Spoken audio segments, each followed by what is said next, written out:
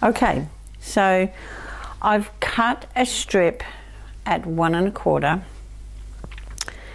And what I'm going to do is use this uh, new tool we've created called Hide a Seam.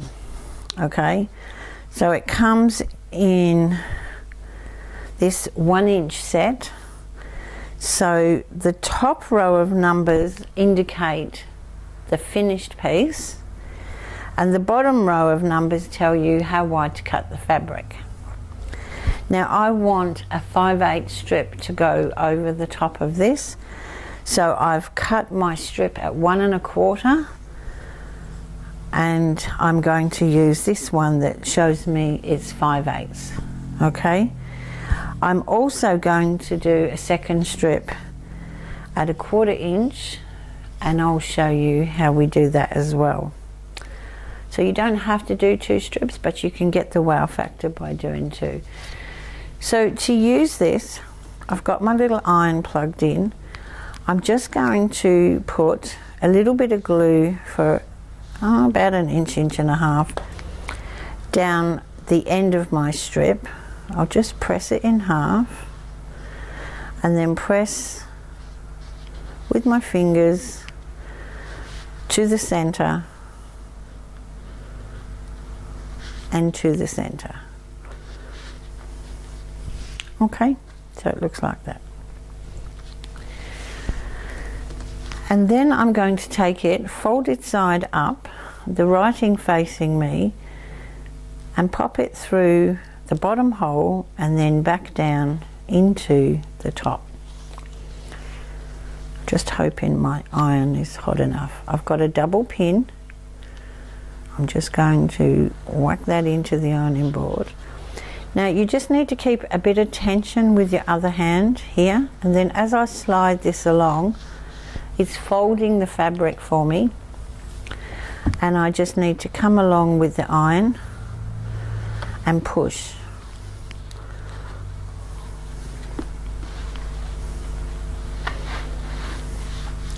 Oops, I went off.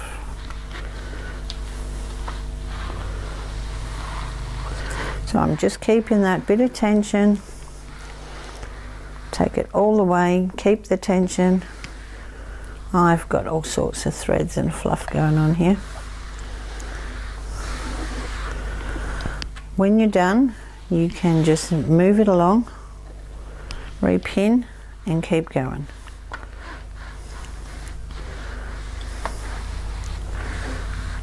You don't have to rush, you don't burn your fingers. There we go. That's probably long enough for what I want. Keep going.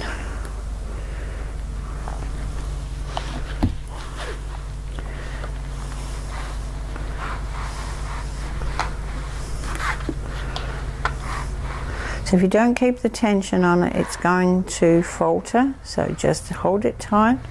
You can move it back if you need to. Just keep going, keep going, keep going all the way to the end.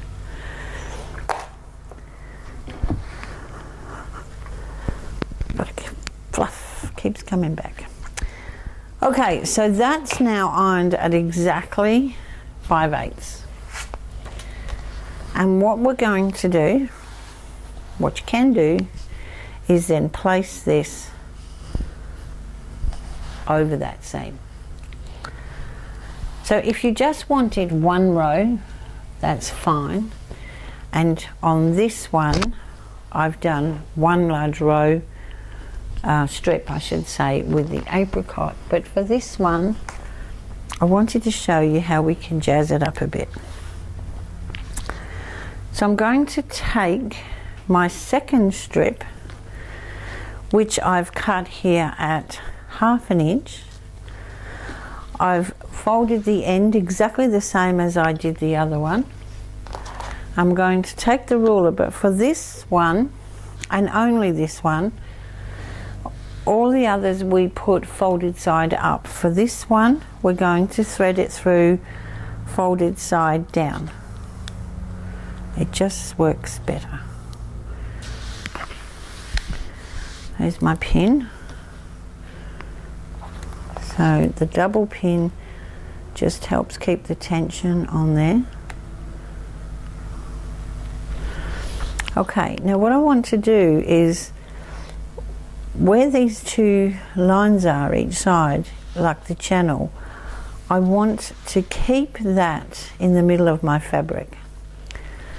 So as I push down,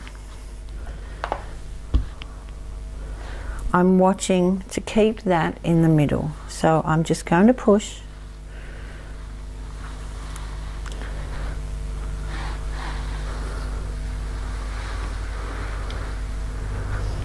And there you go. Now if you had to join a piece and you had a seam in there, you simply press the seams in the direction you're pushing the iron. So you wouldn't open it flat, you would just push it in the same direction as you're pushing your iron.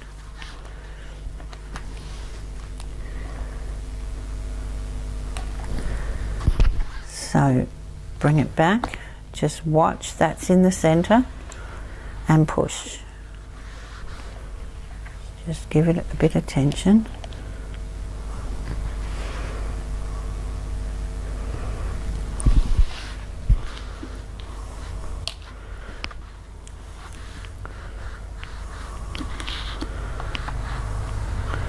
You don't have to rush, you can take your time. It works with your big iron as well as a small one.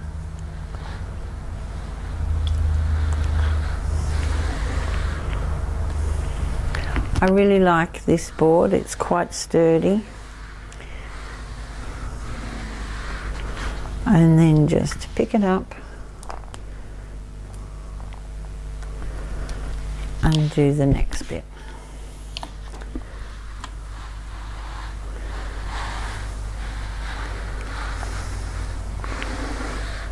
Just easy as that. Okay, got a tiny bit left. We might as well do the whole lot.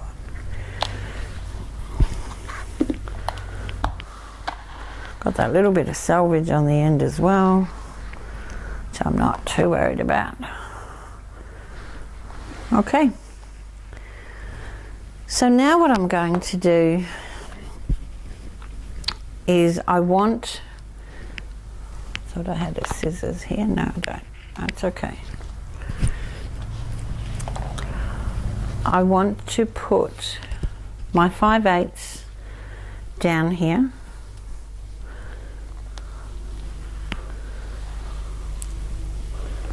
I'll just pin it to the board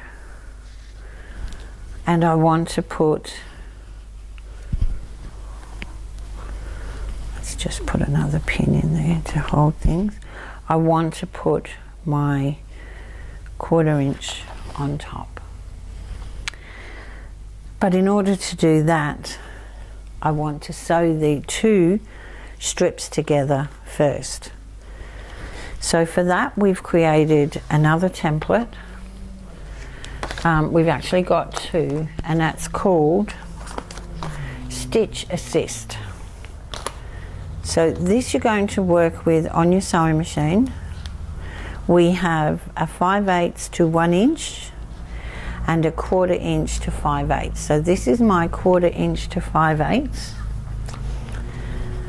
And this is actually done the same way. This is a 1 inch with the 5 eighths on top.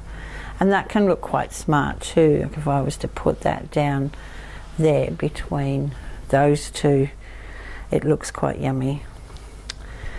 You could also do three layers. So if you wanted, you could have your quarter inch on top of your 5 eighths and then you could put the 5 eighths uh,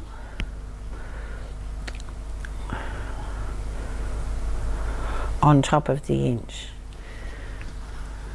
So it would look something like that. Okay. So the two sewing assists is going to help stitch these two together in one go, no stress. I love that, don't you love that? and sew two straight lines down each side. So I'm going to take this to the machine. All you need is your quarter inch foot. I'm going to rethread back into my apricot colour thread and I'm going to join these two together.